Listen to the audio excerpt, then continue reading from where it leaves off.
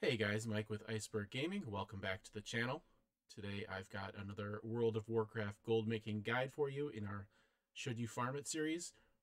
So I ran uh, Ulduar with because of this Cursed Rabbit's Foot. I was hoping for a Mimiron drop and I figured I would report back to you guys with the results. So today we're going to be asking and answering Should you farm Ulduar? So let's check out our results. Uh, so as usual, we started with our 500,000 gold. So you can see our raw gold so far is just over 700. We have a few things left to vendor, so we're gonna hearth out of here and take care of that, and then check out uh, if these other things we got are worth anything. We got a few BOEs, a couple of patterns, and then some raw materials. Where is Allison? There she is. Hello, Allison. We've got some more garbage for you today. So nice of her to take all of our garbage off our hands. Okay, so we're coming in at just under 800 raw gold for that run. And it took us about 27 minutes. So raw gold, you're looking at around 1600 per hour. Uh, about the same as our Icecrown run earlier.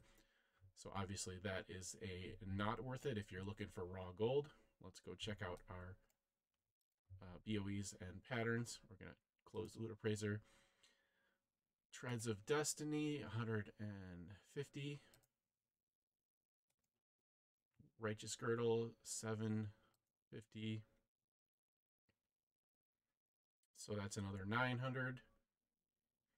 Um, another 300. Oh, wow, that's pretty good if that sells. 5,500 and 250. So we're looking at a few thousand gold. These are worth nothing. That we're not even going to bother with that because the deposit and the price are too close together. I uh, can't sell that. Borean leather has gone down in price over the last few days, but that's still worth it to chuck up there. The frost cloth will also sell, and one of these scales that will also sell. So we're looking at a few hundred gold there from the materials. Uh, so we're looking at around a thousand gold, and then if those uh, BOEs and patterns sell, uh, then we're looking at in the uh, maybe 5,000 gold range if we're really lucky and those sell. So um, I'm going to give this one a maybe, depending on your luck. If you're feeling pretty lucky, then it could be a good run. Otherwise, I'm going to give it a no. Oh, we got one more thing to sell. Okay, so that's another one gold. So nothing, nothing to write home about. So uh, I'm going to go ahead and personally give Ulduar a no. You should not farm it for gold.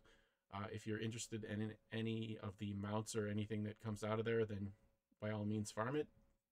But in terms of gold, we are going to give Ulduar a no. Thank you so much for watching. Don't forget to like, comment, and subscribe for the algorithm so that you get the next videos. And uh, we'll see you then. Thanks so much.